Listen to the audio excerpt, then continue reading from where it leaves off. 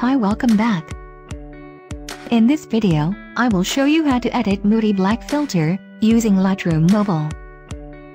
Here are example photo, before and after, using this filter.